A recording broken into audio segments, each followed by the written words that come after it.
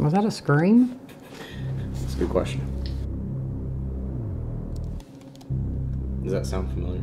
Very. Every single one of these people who witnessed this event, all independently, came to the same conclusion and called me seeking pastoral counsel, asking me what happened. I was like, do you think a demon or something could have came out of her? She like yelled like a scream. You hear anything like that ever before? Yes, I have. You guys had mentioned that you were talking about possibly this going back earlier than Kristen. Oh yeah. Huge. Never seen a bird this big, and it was black.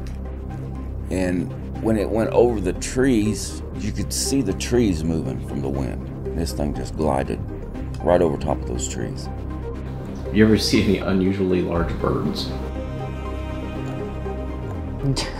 That's so crazy. There's actually a lot of connections to Logan, West Virginia with Point Pleasant, West Virginia. In 1982, you start getting a lot of UFO sightings in the area, and then you start getting them in Logan, Chapmanville, here in town, and so it just, just a lot of weird stuff in the area.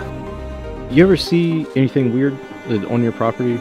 Oh my gosh, it's funny that you asked that.